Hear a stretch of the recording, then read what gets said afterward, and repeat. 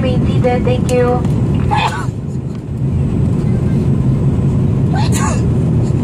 Ladies and gentlemen, we shall be landing shortly, so please remain seated with your seatbelt securely fastened. Avoid standing up and going to the lavatories at this time. Thank you.